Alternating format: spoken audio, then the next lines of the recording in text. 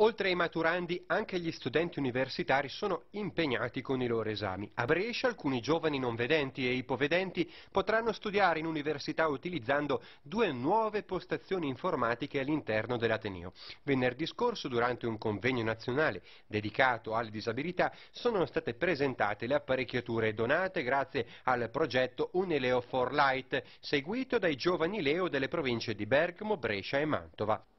B, U, N, o-R-N-O, spazio, spazio, U-T-T-I. E poi mi rileggerà la frase. Buongiorno a tutti. Daniela Fiordalisi oggi ha mostrato a tutti come funziona questa postazione informatica. Ma qual è eh, l'idea o perlomeno il parere che esprime su questa tecnologia?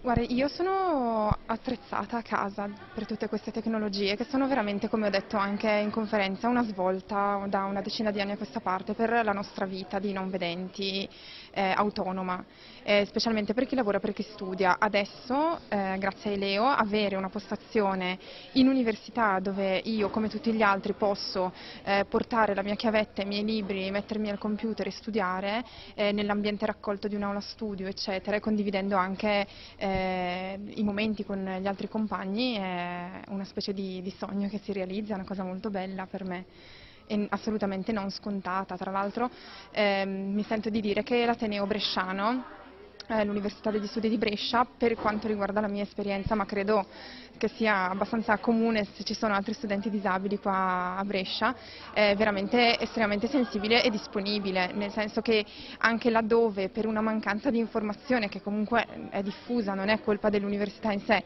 eh, siamo noi che andiamo a chiedere, eh, loro sono assolutamente disponibili e ci accontentano in tutto. Quindi va molto bene, è molto bello questo. Anna Fidanza, Presidente del Distretto 108 IB2 e Leo, chiaramente oggi è una giornata importante, questa inaugurazione dà anche la possibilità di poter vedere un lavoro che si concretizza. Grazie. Sì, oggi finalmente abbiamo ottenuto i primi risultati, si vedono concretamente i risultati del nostro progetto che stiamo portando avanti da due anni, è un progetto che prevede la raccolta fondi di 500 mila euro in tre anni e eh, utilizzeremo questi fondi per creare delle postazioni telematiche analoghe per non vedenti analoghe a quella di oggi che abbiamo inaugurato a Brescia in tutte le università d'Italia, almeno una per regione. Eh, l'obiettivo non è solo questo, quindi di fornire tecnologie e strumenti tecnologici alle università, ma è nell'ambito di un progetto molto più grande, quello di coordinare a livello nazionale finalmente anche la produzione dei testi eh, universitari e non eh, che servono agli studenti. La prima postazione informatica, Unileo for Light, è stata aperta a Palermo lo scorso 19 gennaio.